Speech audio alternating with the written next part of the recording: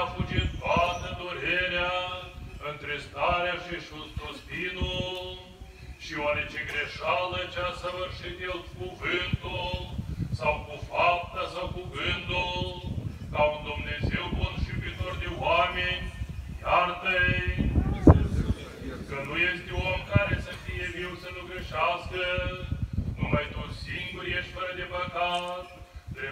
dreptatea ta este dreptate în viață și cuvântul tău adevărul,